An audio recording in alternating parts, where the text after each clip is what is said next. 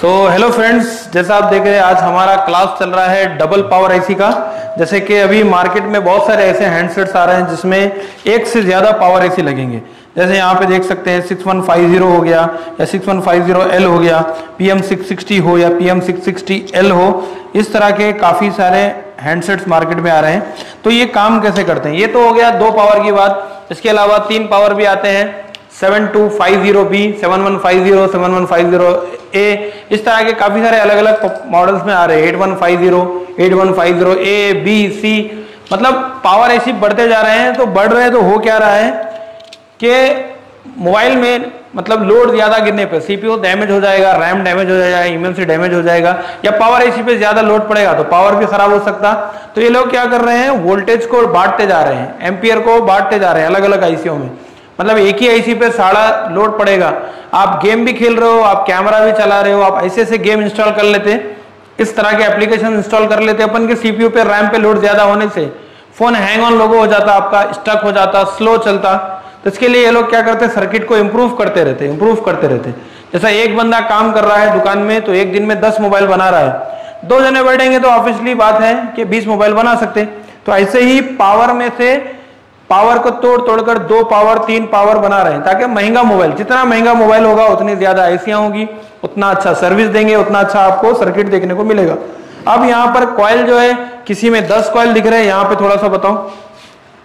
देख सकते हैं यहाँ पे, इतने सारे कॉयल हैं, यहाँ पे भी देख सकते हैं इतने सारे कॉयल अब कौन सा कॉयल कितना वैल्यू का है, कितना वोल्टेज आता है, और वोल्टेज आता है तो कब आता है, ये देखना इंपॉर्टेंट है। डेड फ़ोन में आपको यही देखना है कि इतने सारे कॉयल्स आईसिंग के पास लग के हैं। तो कौन सा कॉयल का वैल्यू कितना है और उसका काम क्या है? अब हम यहाँ पे डबल पावर का कंसेप्ट बनाए। तो ये जो अपन यहाँ पे ड्रॉ करे यहाँ पर तो एक बार बताओ लाइव सामने करे कि पहले से करके थे? लाइव ड्रॉ करे ना अपन? आप सब भी करें? थोड़ा बताओ आपका ड्रॉ भी। देखो ये समझ में आया कि खाली कॉपी कर लिए? सोहेल समझ में आया? अभी एक और पावर का बना सकते हैं? इधर आप आपका नाम क्या है? नितेश। नितेश अभी आप डुअल पावर कंसेप्ट समझे तो ये कॉपी करेंगे सारा बोल सकते किधर क्या आ रहा है? यस सर ये शुरू के पॉइंट से एंड के पॉइंट तक बता सकते। पूरा लिखे ना अपन पूरा। कॉपी तो नहीं कर लिए।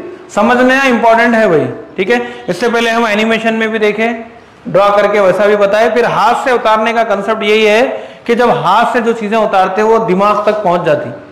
समझ आए और जो एक बार दिमाग में बैठ गया तो आप इजीली रिपेयर कर सकते हैं। नहीं तो इस तरह के मॉडल्स आएँगे तो कंफ्यूज हो जाएगी। एक सप्लाई ऐसा है, जो सप्लाई शॉर्ट हो गई या लाइन ओपन हो गई तो दोनों आईसियाँ बंद हो जाएँगे। मालूम है ना अपने को? एक सप्लाई ऐसा है, जिससे दोनों आईसियाँ बंद हो जाएँगे, फिर आप समझेंगे कि कौन सा आईसी सही है, कौन सा गलत है। ठीक है? इस तरफ़ बताना, मैं ये लोगों को बता देता हूँ। मालूम है ना ये? मालूम है? कितना सप्लाई बनना है, ये भी मालूम है, और यही सप्लाई बन के इस आईसी को मिलेगा, तब जाके एक्टिवेट होगी। अदरवाइज़ एक्टिवेट नहीं, नहीं होगी। इसका नाम तो आप लोगों को तो मालूम है ना? Yes, वीडियो में थोड़ा हाइड कर देंगे क्या बोलते हैं? इतना सब कुछ दे रहे हैं। चलिए दो पावर यहाँ पे है। एक पावर का नाम क्या है भाई? पीएम 660 और दूसरा?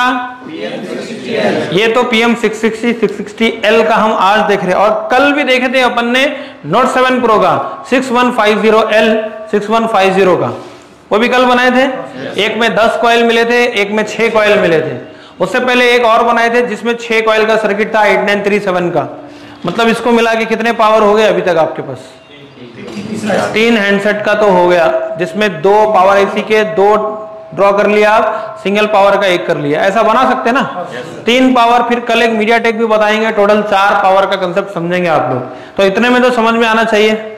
समझ में आ रहा आपको? ऐसा उतार दिए तो ये पहले से तो नहीं उतारे ना? एक एक चीज़ अपन यहाँ पे लाइव ड्रॉ करें अपन। लाइव करें? आप भी कर सकते हैं ना ऐसा? ठीक है तो यहाँ पे सारा चीज़ है। तो सबसे पहले हमारा काम क्या है?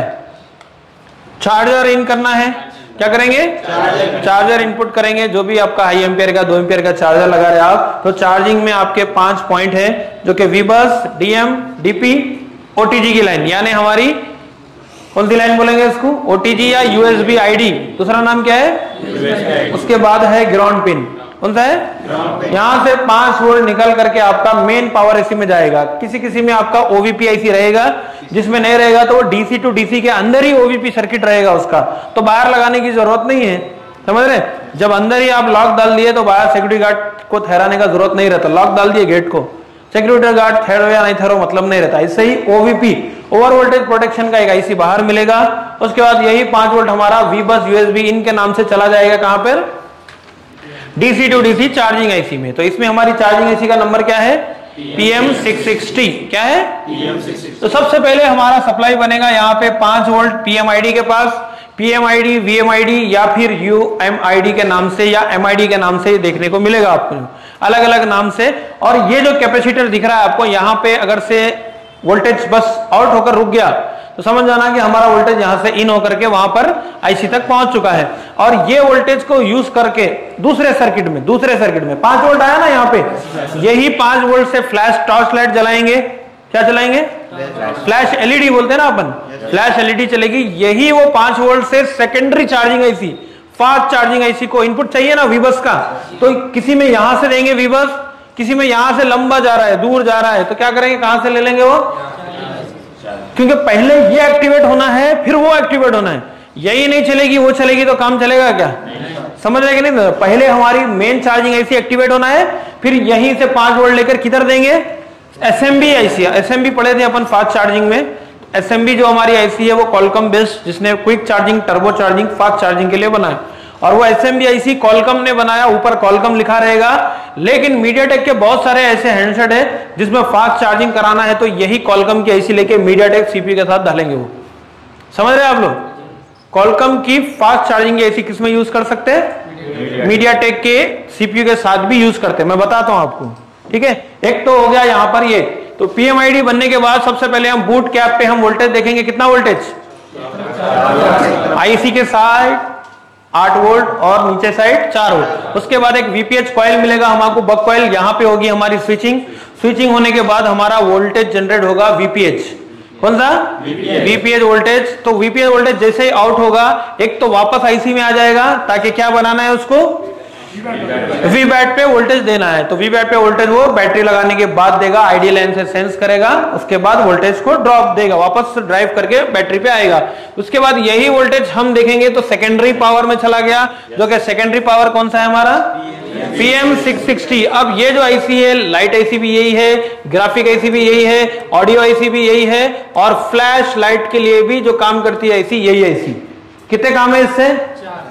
ऑडियो आईसी भी यही है लाइट आईसी भी यही है ग्राफिक आईसी भी यही है फ्लैश टॉर्च लाइट के लिए भी यही ऐसी काम कर रही है और सेकेंडरी पावर का भी यही काम कर रही है। तो सेकेंडरी पावर से जो वोल्टेजेस जनरेट हो रहे हैं वीडीडी कोर का वोल्टेज जनरेट होगा बीओबी लोअर एलडीओ जनरेट होगा मेमोरी की सप्लाई बनेगी और रैम की सप्लाई बनेगी। लेकिन ये बनेगी कब? सबसे पहले वेरी वेरी इंपॉर्टेंट हमारा बीओबी का सप्लाई कौन सा? बीओबी का सप्लाई बनेगा। एक तो वापस इसी में जाएगा ताकि ये सब सप्लाई बनाना है ना। उसके बाद यही वोल्टेज किधर आ गया हमारे? मेन पावर आईसी में। किधर? मेन पावर आईसी में आने के बाद इस आईसी को ट्रिगर मिल गया। चलो भाई तुम अब काम करो। हमारे तो मिल गया वीपीएच वीपीएच जनरेट हुआ उसके बाद इसको मिल गया। तो इन्हें बोलेगी भाई साहब हमारे को वीपीएच मिल गया। किससे थ्रो बोली हो बीओबी की सप्लाई बक और बूस्ट सप्लाई मिलने के बाद ये ऐसी हमारे अपने वोल्टेजेस बनाना स्टार्ट करेगी। क्या क्या बनाएगी?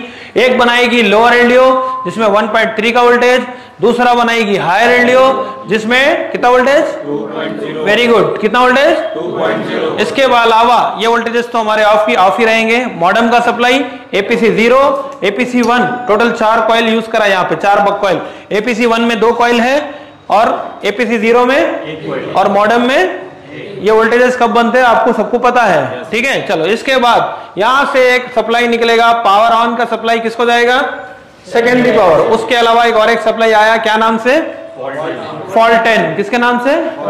कितना वोल्टेज उसके बाद ये आईसी भी अपने जनरेट करना शुरू करेगी। क्या क्या बनाएगी? सबसे पहले लोअर एलडीओ लोअर एलडीओ बनाकर वीरेक टू वाले सेक्शन में देगी। कितना वोल्टेज 1.3 का वोल्टेज इसके बाद वीडीडी कोर की सप्लाई बनाएगी कितना? मेमोरी ये सब होने के बाद यहाँ से इसके भी सेकेंडरी एलडीओ निकलेंगे और यहाँ से जो मेन हमारी मेन पावर ऐसी है इससे एक सप्लाई बहुत इंपॉर्टेंट सप्लाई है। क्या नाम है उसका? वी रेग एल थर्टीन कितना है? और जो हम 8937 में देखे थे वी रेग एल फाइव था वो, क्या था? जो कि हमारी 1.8 की सप्लाई है, जो ईडीएल पॉइंट पे भी चेक करते हैं आप एमएमसी में भी जाता वीसीसी क्यू के नाम से, बहुत सारे जगह पे जाएगा। ये सप्लाइया इतने जहाँ पे बनने ही चाहिए, इन दोनों को बातचीत करने के लिए कम्युनिकेशन करने के लिए सीपीयू के साथ जो लाइनों का नाम रख लिए, लाइन का नाम क्या है? SPMI clock SPMI data system power management interface दोनों लाइन ताकि रीसेट कराना होता है सीपीयू को जैसे चार्जर लगता है ना तो सीपीयू को जगाना है सोते रहता है सीपीयू मोबाइल बंद रहता ना हमारा तो सीपीयू को क्या करना है? अब इन्हू सो रहे तो इनको जगाने के लिए क्या करना पड़ेगा? हिलाना पड़ेगा समझ रहे? आई टू सी जो प्रोटोकॉल है उससे जितने भी स्लेब्स है लाइट आईसी चार्जिंग आईसी सबसे क्या करेगा वो? कम्युनिकेट करेगा और सबको काम करने के लिए लगाएगा वहाँ पे। मतलब वो स्लेब एड्रेस भेजेगा डाटा भेजेगा काम करने के लिए डाटा की लाइन से ठीक है क्लॉक भेजेगा पहले उसके बाद डाटा भेजेगा फिर वो ऐसी काम कर रही है तो डाटा रिटर्न सीपी को भेजेगी। बोले कि ठीक है साहब हम काम पे लग चुके हैं। ठीक है तो ये यहाँ पे होता है। इतना होने के बाद दोनों सेक्शन जब सारे सही रहते हैं हमारे ठीक है सारे वोल्टेजेस बन रहे हैं तो पावर ऐसी हमारी ये फ़ोटो तो ले लिए थे ना आप लोग? तो पावर ऐसी इसको हटा रहा हूँ मैं। हटा दू? ठीक है ये रहता है मेरे पास फ़ोटो फिर हमारी पावर ऐसी कौन सी ऐसी पावर ऐसी हमारी सीपीयू को, किसको? सीपीयू को क्या भेजेगी? सिग्नल भेजेगी। कौन सा हमारा पावर ऑन रिसेट का? कौन सा? फिर सीपीयू से एक सिग्नल वापस मिलेगा अपने को। उसका नाम क्या है? पीएस होल्ड क्या है? इससे पहले हमारा स्लीप क्लॉक और बेसबैंड क्लॉक क्या क्या निकलेगा यहाँ से? Sleep clock S L P C L के कितना था? Thirty two point seven sixty eight kilo hertz एक और निकलेगा यहाँ से, नाइनटीन पॉइंट ठीक है? ये हमारा सीपीयू को मिल जाएगा। सीपीयू को जो मिलेगा वोल्टेज 1.8 के वोल्टेज और पीएस होल्ड भी कितना मिलेगा? ये मिल रहा है मतलब सारे के सारे वोल्टेजेस, क्या होना है हमारे? स्टेबल होना है और इस कंडीशन में आपका सीपीयू ड्राइवर भी बनाएगा, पोर्ट भी बनाएगा। क्या बनाएगा पोर्ट। पोर्ट क्या बनेगा? Qualcomm nine double zero eight H S B USB इस तरह से बनता ना? नाइन डबल ज़ीरो एट का आप डिवाइस मैनेजर में पोर्ट चेक कर लेना, आपका पोर्ट भी बन जाएगा। डीसी पे स्विचिंग चेक कर लेना डीसी पे स्विचिंग आ जाएगी। उसके बाद आपको एमएमसी लगाना है इसमें। तो इतना अपने को पावर सेक्शन में देखना है। इसके अलावा जो हमारा क्रिस्टल है, यहाँ से निकालेगा आरएफ क्लॉक क्या निकलेगा? 19.2 मेगाहर्ट्ज दूसरा निकालेगा डब्ल्यू क्लॉक तीसरा निकालेगा बीबी क्लॉक क्या निकालेगा? और चौथा सीपी के लिए एमएसएम क्लॉक टोटल ये सारे क्या बनने हैं? क्लॉक बनने हैं। कब बनेंगे ये? जब सीपीयू से दोनों में एक और लाइन कनेक्ट रहेगी दोनों के साथ। एसपीएमआई क्लॉक और एसपीएमआई दोनों ये हमारा हो गया सीपीयू ये हो गया हमारा मेन पावर एसी क्या हो गया? तो फिर ये ये वर्क कब नहीं इसको क्या दिया अपन पहले? वीपीएच वीपीएच तो ये खुद बना लेगा अपने लिए और इसको पहले देना पड़ेगा क्या? वी बस पाँच वोल्ट। क्या दिए? ये आया चार्जिंग से ये तो खुद बना ली और यहाँ से फिर निकलेगा हमारा बैटरी को मोबाइल को ऑन करने के लिए। इसका नाम क्या है? वी बैट तो ये सारे सप्लाई इस तरह से बनना है। इसके अलावा रैम के लिए भी हम देखे मेमोरी के लिए भी देखे, वो सारे बनना है। तो ये लास्ट में हमको जो देखना है वोल्टेज पीएस होल्ड का देख सप्लाई चेक करना है। 1.8 का, तब जाकर के आपका सारा का सारा सही रहेगा। और ये सब तो जो है आपका वाईफाई के लिए है। तो वाईफाई के लिए नहीं भी गया तो कोई बात नहीं वाईफाई काम नहीं करेगा। लेकिन हमारा एमएसएम क्लॉक बनना चाहिए सीपीयू के लिए। समझ रहे बेजबैंड के लिए नहीं गया बेजबैंड नहीं दिखेगा, लेकिन मोबाइल ऑन करने के लिए जो जो रिक्वायरमेंट है सारा मैं आपको बता दिया, ये सारी चीज़ होनी चाहिए। ये सारे वोल्टेज स्टेबल रहना है, याद रखो। ना कम होना, ना ऊपर होना मतलब फ्लक्चुएट नहीं मानना है। फ्लक्चुएट मार रहा मतलब दोनों में प्रॉब्लम है। दोनों में से किसी एक में क्या है? प्रॉब्लम है। फ्लक्चुएट नहीं होना है स्टेबल रहना है आपको। और स्टेबल कब होता? सीपीयू क्या भेजेगा? पीएस होल्ड भेजेगा। कहीं भी कबार क्या होता? है जीआर भी मिलता है इस पे। लेकिन वोल्टेज नहीं आता तो अलग से भी आप वोल्टेज देकर चेक कर सकते हैं। समझ रहे अलग से भी क्या देके देख सकते हैं? वोल्टेज देकर के 1.8 का वोल्टेज देकर चेक कर लेना। ठीक है? ले लो फ़ोटो डबल पावर समझ में आ रहा कंसेप्ट आपको? Yes. कल सिंगल पढ़े थे उसके बाद आप डबल पावर पढ़ रहे हो। समझ रहे? ज़्यादा डिफरेंस नहीं है। थोड़ा सा लाइनों का फ़र्क रहेगा बाकी काम तो सेम ही रहेगा। दोनों पावर रहो या तीन पावर रहो। ठीक है? ड्रॉ कर लिए सब लोग? ठीक है चलिए आगे बढ़ते हैं। Thank you very much